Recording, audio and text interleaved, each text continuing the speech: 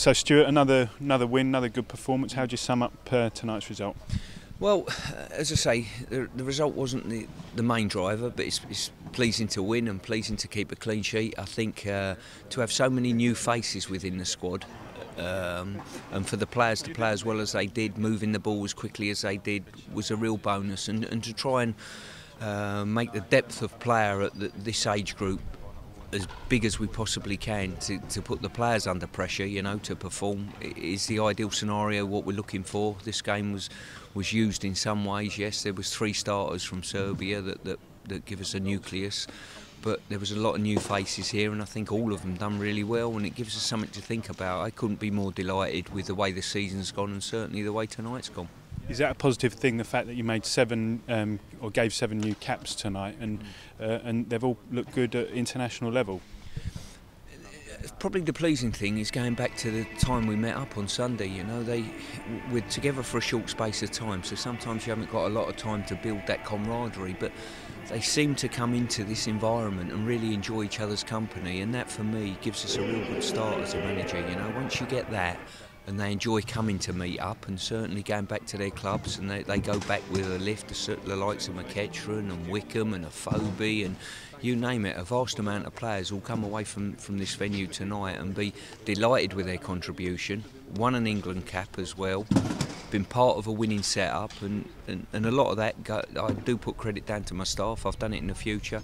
I think we've got such a solid staff here that they make players. Uh, you know, coming into the squad feel very at home, as well as the players, and obviously the captain Jordan plays a big part in that in my eyes.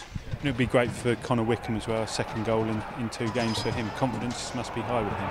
Yeah, and, and we just hope now. I mean, certainly most of this season, Connor's come into this squad whenever we've met up with a real smile on his face, with a real purpose about his football, you know. And uh, sometimes when you change clubs, it's very difficult, certainly for young players moving a long way from home.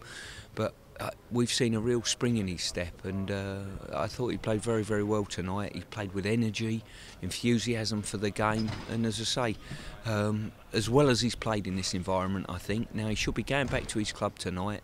Um, if I was him, I would be saying, right, now it's my turn to get in Sunderland's team. And uh, another debutant was on the score sheet with um, Benik Afobe, but when he picked up the ball for the penalty, what, what were you thinking? Because usually that's your your stats man, the man mm. at the top of the stats who's going to take it, who's Jordan. Exactly. Normally I go on stats. Obviously, at the moment, the boy is 100%. So uh, we didn't know that before he stepped up. But credit to him, he had the confidence to do it. Took a fantastic penalty. And I think whenever you're a striker and, and you come in and, and play a game, certainly the first time he's been at this age group, to score a goal, we'll be delighted with his contribution today. It could have been more at, at, at, their end, but at our end, we kept a clean sheet. Another one for the year. That's uh, six on the bounce and six victories as well. Yeah, as I say, that takes some doing at any level. Make no mistake. I can't lose sight of that, and you know the, the credit goes to the players in respect to that.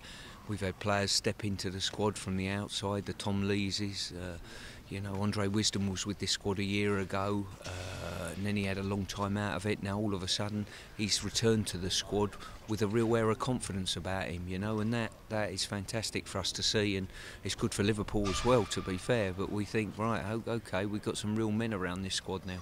And two and a half months now until the next game. What will the, the um, winter period hold for you? Picking up the former players really you know. Uh, I've got a few courses on uh, to go and see to carry on educating myself you know. A few days in Amsterdam we got and a conference and, and various other places and but picking up matches really and making sure that, that I'm on top of all the players the, the Will Hugheses of this world and all the young players and Nick Powells and that are going to come and, and stake a claim to be in this squad. I've got to make sure that I'm acutely aware of, of the next player coming through the door not the ones that are here now who's the next man that we need to see.